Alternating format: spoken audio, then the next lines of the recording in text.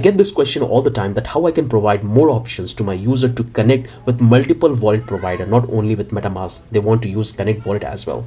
So in this video, I'll show you that how you can add that. This particular library is very powerful. I hope you guys have followed this particular project in that we have used the exact library, which will allow you to connect with a multiple wallet. So I will disconnect simply. And if I click on this connect here, I will have multiple wallet. I can simply click and connect with the MetaMask because that's what I have in my browser. But if I want to use any other wallet providers like Rainbow, Coinbase, Connect Wallet, or you can configure your own network. So you can simply do that. If you don't have this extension installed, you can simply click on this Connect Wallet and it's going to give you this scanner. You can scan in your phone and you can connect it with a tab. So this is a really very powerful library. You can simply customize and add other network as well. So in this video, I'll show you that how you can do that particular configuration as per different blockchain and how you can integrate this particular wallet provider.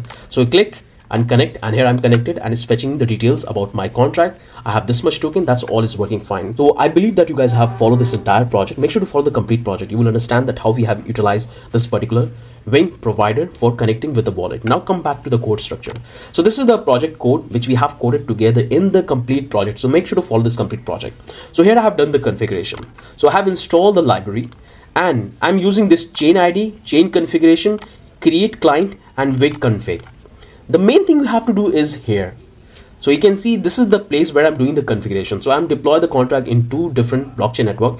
One is Sepolia and this one is also a Ethereum chain, Holesky. I hope I'm pronouncing this correctly. If I open this one, you will find that this particular configuration you have to do manually because in the library which we are utilizing in that you won't find this auto configuration. So you have to provide the manual configuration along with the RPC URL and the chain ID. So you can see I'm providing the chain ID, then I'm giving the name. This is the network name and this is the currency and the symbol. Here we have the RPC URL, which we are using from this particular website, which you can check. So if you want to configure any other blockchain, you can simply come back here in this particular site. There you will find different blockchain RPC URL.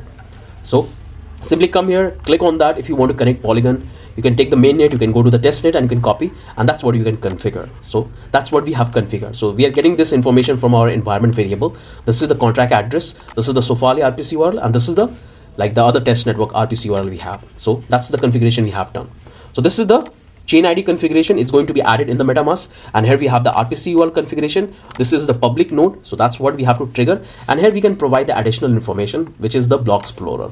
Once the transaction will complete, we can redirect the user to the block explorer where they can verify the transaction. So this is the exact configuration you have to if you want to go with the manual configuration. So you can manually configure all of these details and you can connect with any blockchain. So again, I would suggest you to come back in their documentation there, have explained every single thing, or you can simply follow the project we have built and that I have given you all the demo, all the explanation that how we are connecting. So you can simply go through that. They have multiple features they have included. So this is how you can integrate multiple wallet provider where user can simply interact with your smart contract. So I hope you guys have understood that how you can simply do that. It's really powerful. You can display the balance or even you can customize the theme of this particular one. So currently I'm going with the dark one. If I come back here, here they have the theme so you can see this is the css file we are importing which is for this one. And if i go back to the theme so this is the chain id configuration this is the connector and here I've given the name of my contract which I have explained in the project.